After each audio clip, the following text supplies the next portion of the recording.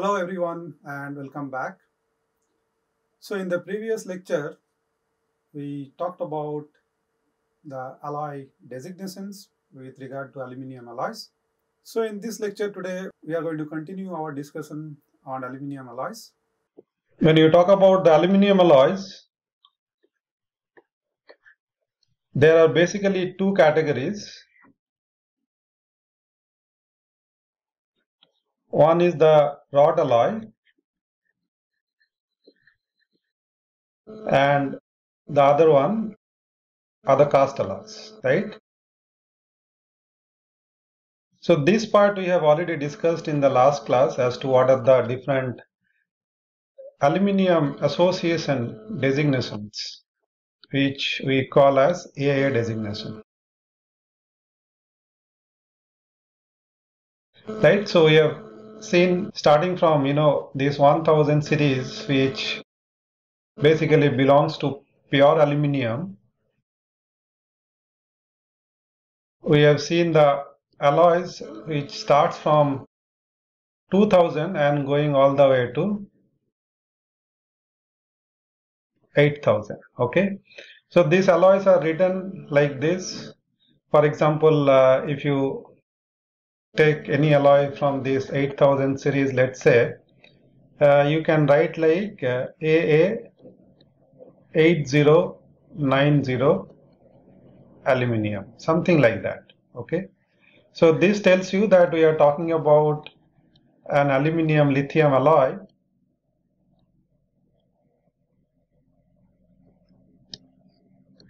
having a particular amount of uh, lithium. So in this case it's typically about you know 2 to 2.5 something like that. And it has uh, some amount of uh, copper.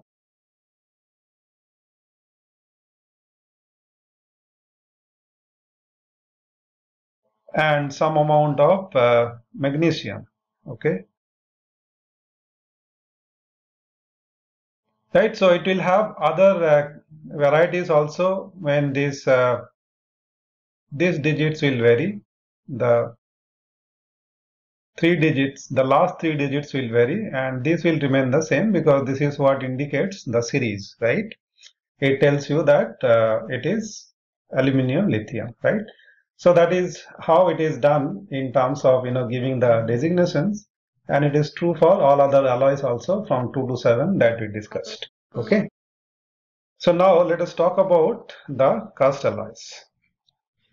So in the wrought alloys you have seen that uh, there are four digits like one particular digit followed by three more right? For the 2000 series similarly for the 3000 series and so on. But when you talk about the cast alloys these four digits will come down to three digits. Like this okay? 100 200 300 and so on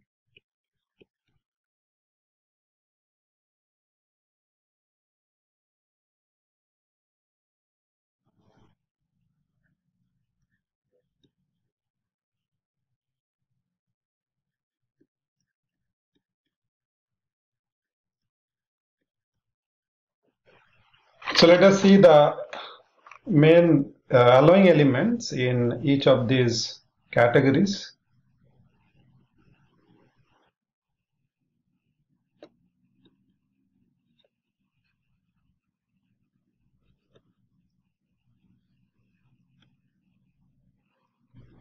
So like the previous case, uh, 100 belongs to pure aluminium with minimum of 99% aluminium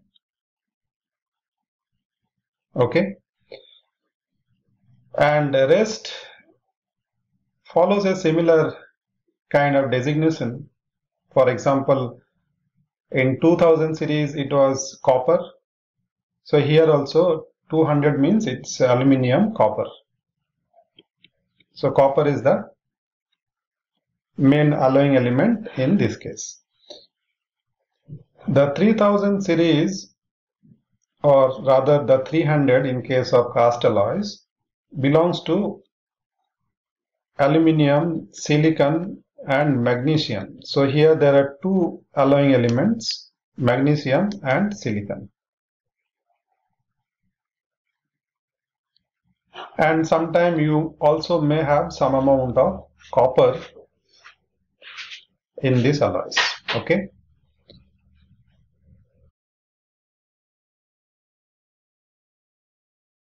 Four hundred series belongs to aluminum silicon. 500 is aluminum magnesium 700 is aluminum zinc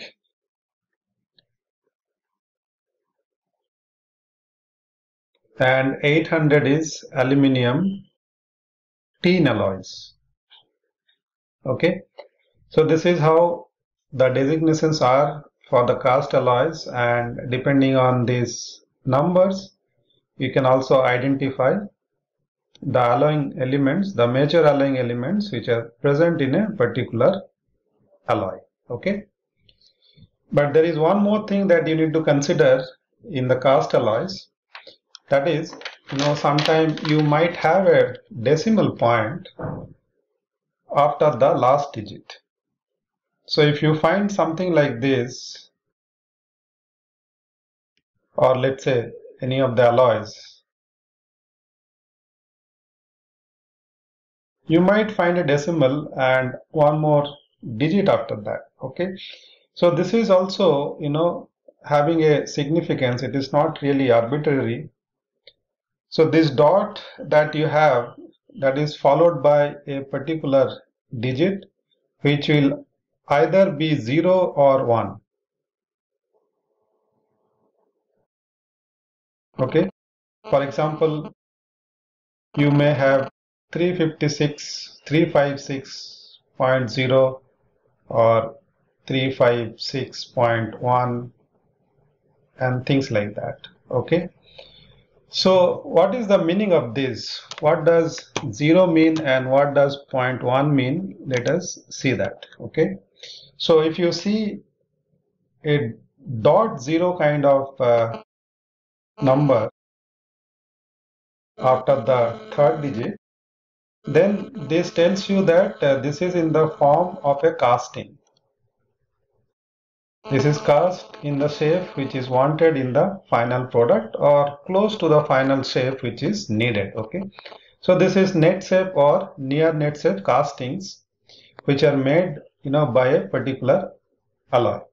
On the other hand if you see this if you see one after the decimal point then this would indicate that it is an ingot which has to be further processed you know to to give it a particular shape that we want for a particular product okay? So that is the significance of these two digits. That means this 0.0 and 0.1 that you have in case of the cast alloys. Now here also uh, some of the alloys are heat treatable and some of them are not like how we have for the wrought alloys. So in case of cast alloys the heat treatable alloys are the 300 series alloys where you have both uh, silicon and magnesium. So due to the presence of these two alloying elements you know it can form this precipitate Mg2Si if you do the heat treatment, right? And the other one which is heat treatable in case of cast alloy is the 700 series. Okay, so here also you have zinc which can uh, form a precipitate with aluminium and here you might also have some amount of magnesium and copper okay so these two alloys are the heatable cast alloys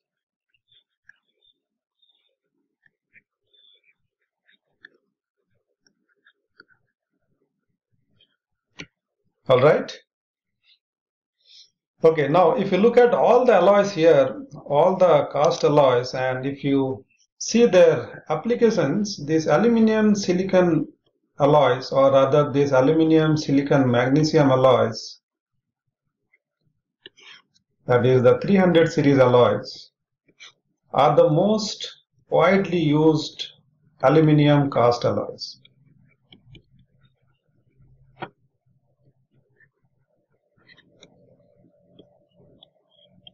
Any guess why we have chosen this aluminum silicon alloy or the presence of the silicon to be the most common or the most you know useful one?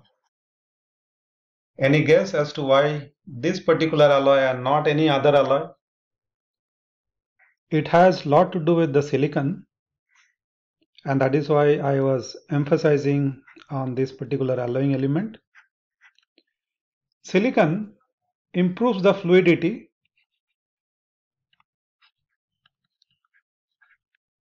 which is good for filling up the mold.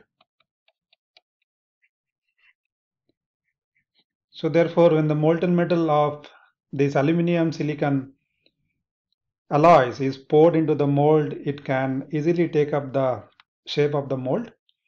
And silicon also reduces shrinkage because on solidification silicon expands, right? So due to these reasons, silicon provides a good castability to the alloy.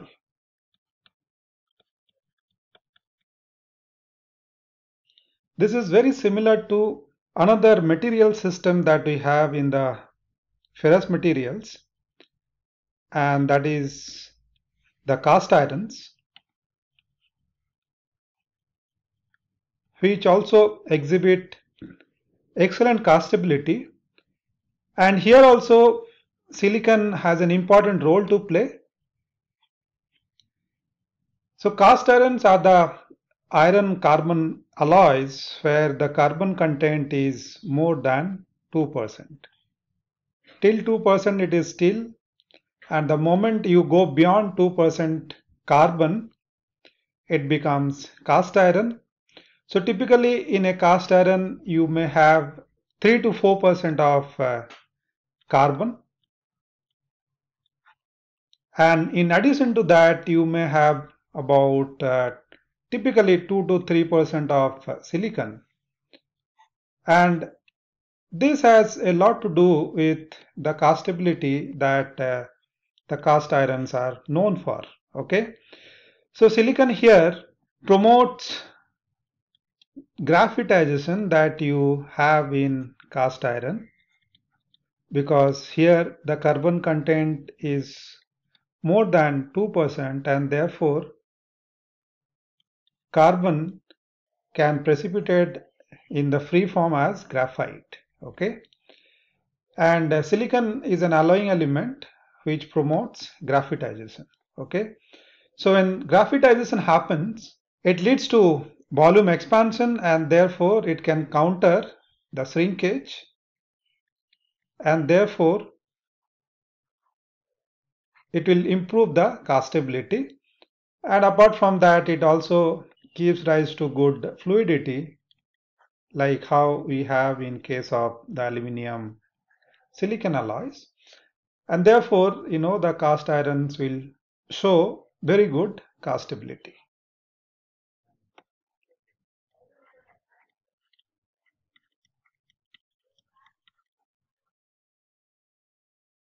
if you look at now, if you come back to the aluminium alloys, here also silicon plays a similar role in providing good castability to the aluminium alloys. So you can say this is the cast iron equivalent in case of aluminium alloys because these kind of alloys possess excellent castability. Okay.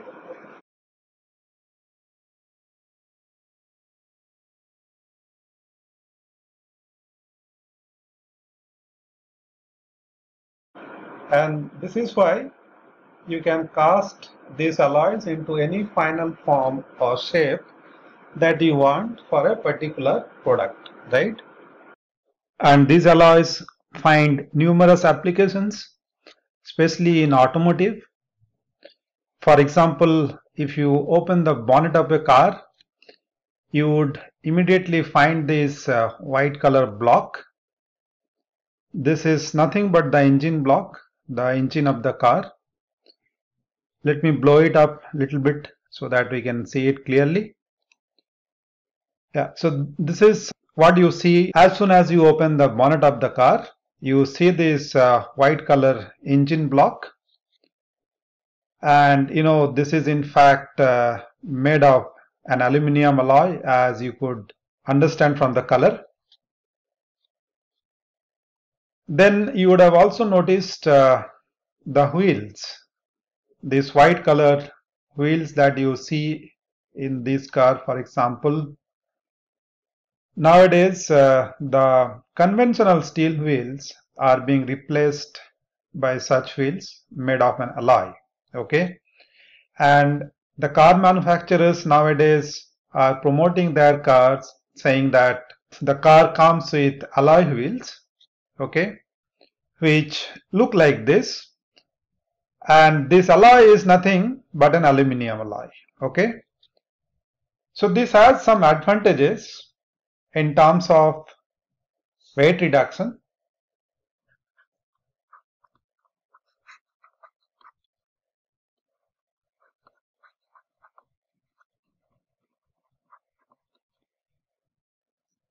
So the engine block which used to be made of cast iron which is much heavier is replaced by an aluminium alloy okay?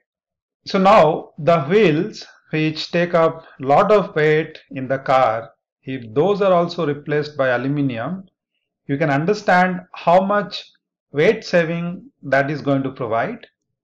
And that in turn will provide a much better fuel efficiency because the car will consume a lot less amount of fuel because of a significant reduction in the weight of the car okay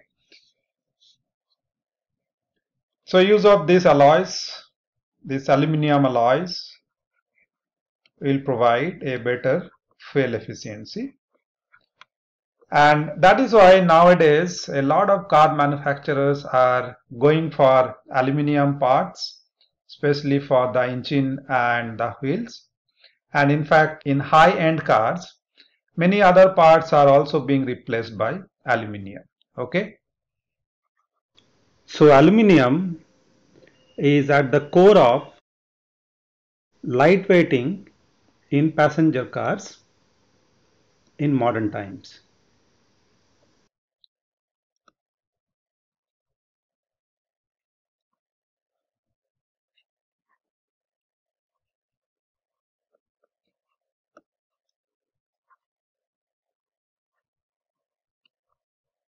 And many of these aluminium parts are made of these aluminum silicon alloys like this engine block and the wheels for example.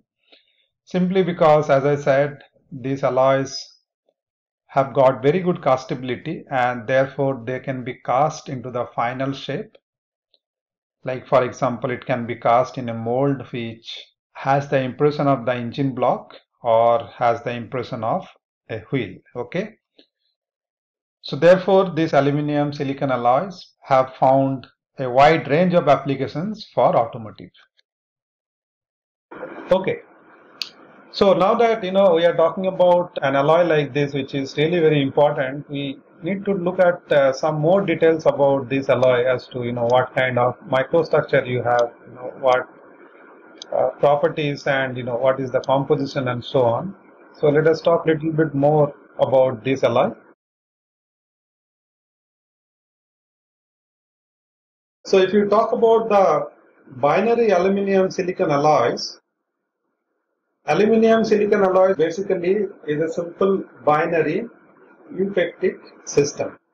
And this is the phase diagram of aluminum and silicon. So here is the eutectic point which is 12.6% silicon and the temperature you can see here is 577 degrees Celsius. Okay. So aluminum silicon alloys form a eutectic at 12.6% silicon and 577 degree Celsius. Okay. But uh, solubility of uh, silicon in aluminum is not that great. It can go maximum to 1.65% as you can see from here.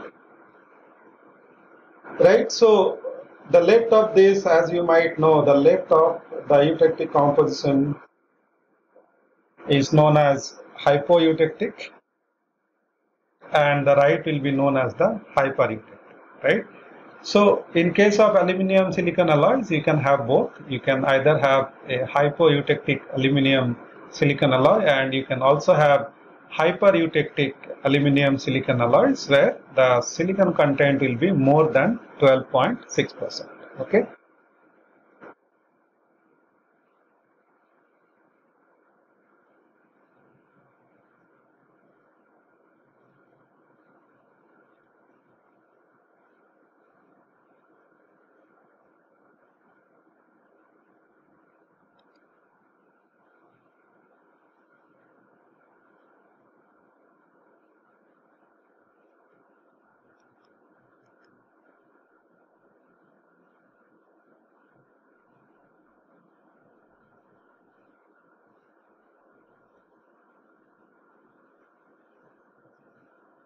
All right.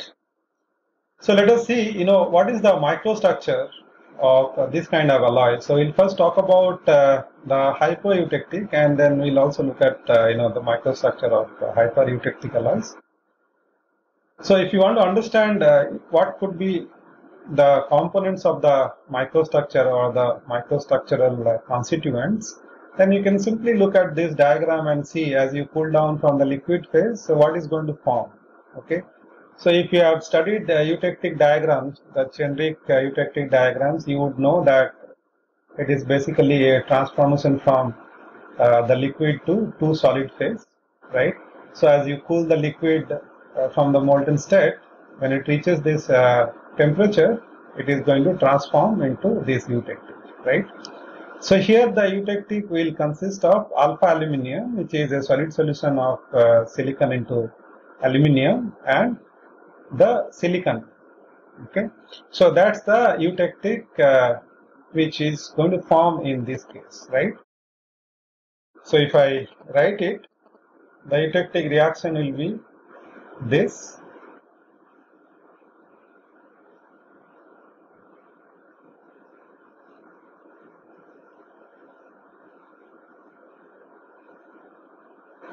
What you can see over here also as you pull it down below the eutectic point, this is the eutectic which is obtained. Okay. So this is what you are going to see in the microstructure when you look at these alloys. But of course, how much of this uh, eutectic phase will be present in the microstructure that would depend on the composition as you know. So right now we are talking about the hypoeutectic composition. That means we are somewhere here on the left of this point. Okay.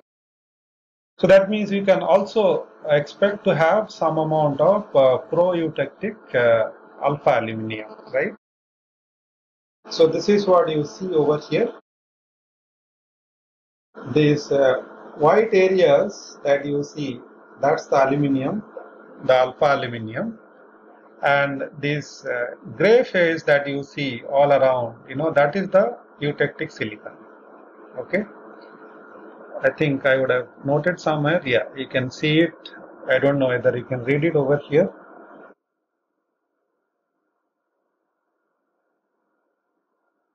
Okay, and this white phase that you have, that is actually the alpha aluminum. Okay. Now, one thing you can notice over here is the morphology of the silicon morphology of the eutectic silicon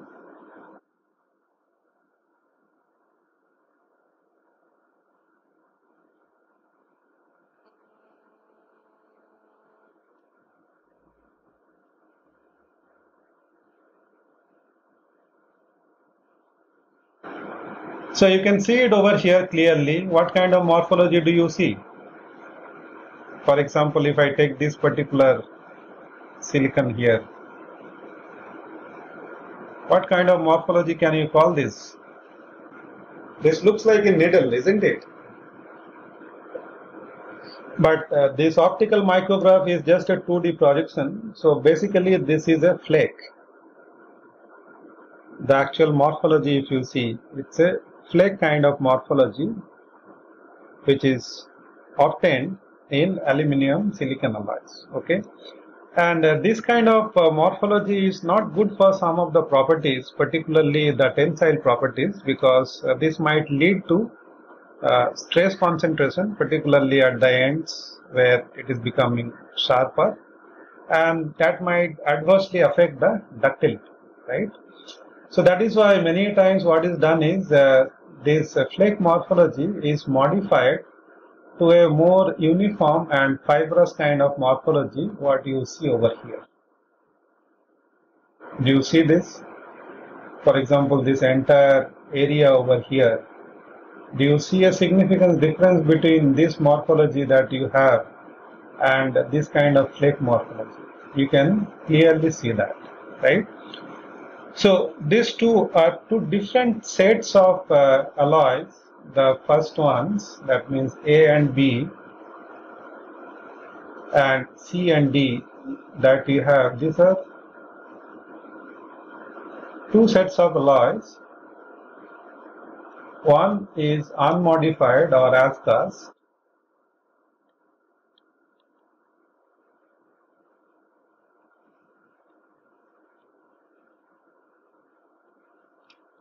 And the C and D that you see over here, these are modified by some additions which can be made to change the morphology of the silicon. Okay. So elements like barium, sodium, strontium, all such elements can be added in very small amount, in minor amount, such as you know 0.05 percent or 0.02 percent, in that kind of quantities to modify this uh, silicon morphology.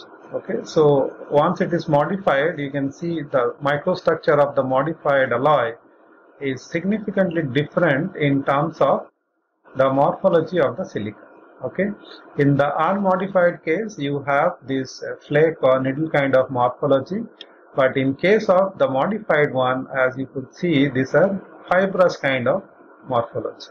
Okay?